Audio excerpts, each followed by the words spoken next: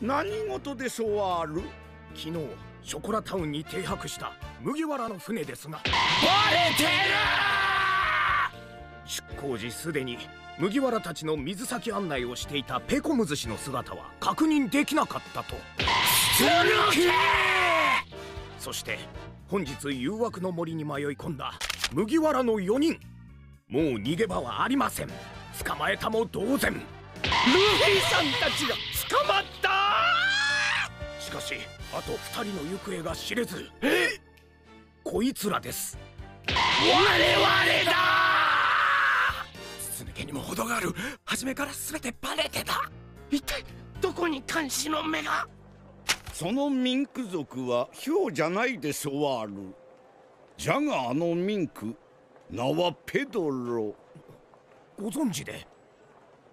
昔ちょっとな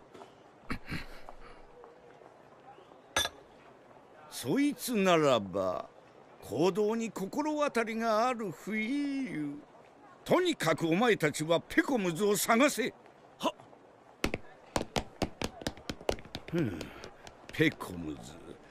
せっかく生きていたのだボン。長くコンビを組んでいたよしみで一緒にママに許しを請うてやろうと思っていたのに、世話の焼ける男でマロンえらいことになってきた。